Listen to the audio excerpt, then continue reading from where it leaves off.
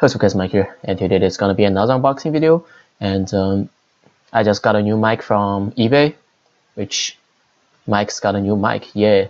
So I'm gonna use this video to test the effect of the mic because the old when I was using my uh, old mic there's a lot of like noise generated from the laptop so I want to avoid that by having a like a clip-on mic right now.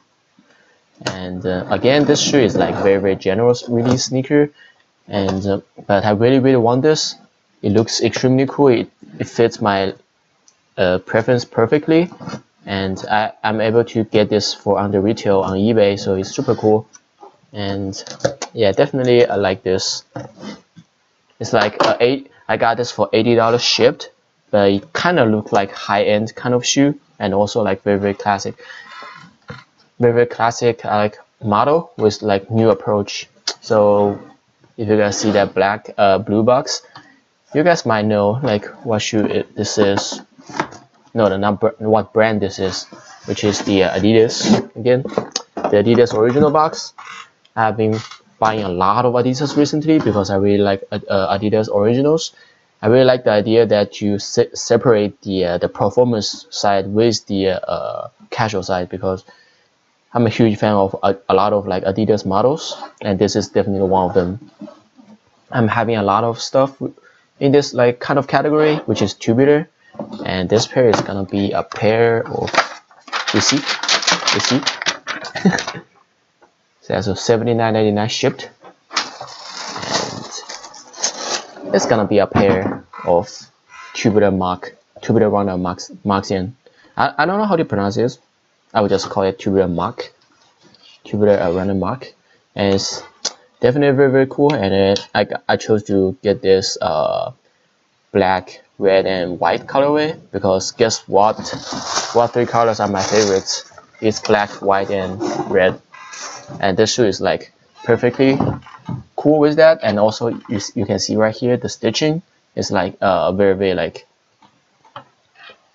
very very like uh I don't know how, I don't know how to how to explain it, but it just feel like it's like completely handmade.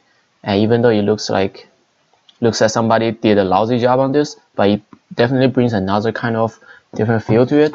And I definitely definitely like this shoe. And I went to size. I heard that you probably can go down half a size for uh for these, but um, I have another pair of tubular runner which I went true to size and they fit me fine. So I just decided to go true to size since this is a casual shoe. So if if I order like a half size big compared to my feet, it's gonna be fine. I'm not gonna run in these, so I don't need the perfect fit. And definitely on the back, on the back, on the back cap, you have the Adidas right here. Also some colors, and definitely I think uh,